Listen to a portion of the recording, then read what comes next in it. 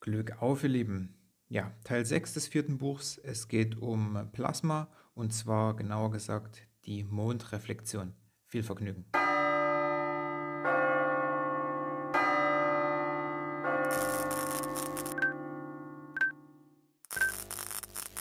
Plasma. Die Mondreflexion. Kosmische elektromagnetische Energie aus den Tiefen aufsteigend spiegelt sich im inneren Bereich des Feldes, wird weiter unten abgedruckt und fokussiert dennoch das Licht. Der Mond entsteht an der Grenze der Ionosphäre zum Äther in etwa 5500 Kilometern Höhe.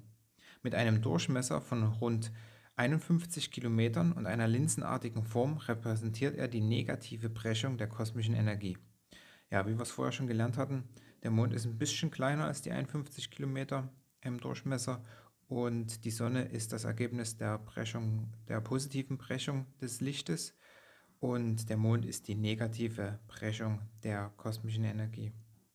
Hier haben wir die Ionisation des Elements Krypton oder des Äthers in dieser Zone, während das untere materielle Feld abgedruckt wird. Dies ermöglicht uns die Karte der Erde zu erhalten, vergleichbar mit einem Röntgenbild, wo die Landmassen transparent erscheinen und die Wasserflächen beleuchtet sind. Es handelt sich um eine konzentrierte Ionisation des Äthers, die eine außerordentliche Präzision besitzt und die Essenz des Erdbodens offenbart. Ja, das soll es dazu gewesen sein. Ähm, Im nächsten Buch oder im nächsten Teil geht es dann um die Sterne als Plasmaobjekt und die einzelnen Abdrücke in den sogenannten Planeten, die wir am Himmel sehen. Ähm, wird auch sehr, sehr interessant. Und wenn der nächste Teil vorüber ist, geht es dann weiter mit Karten, politischen Karten und ozeanografischen Karten. Ich hoffe, ihr hattet viel Vergnügen dabei. Bis bald.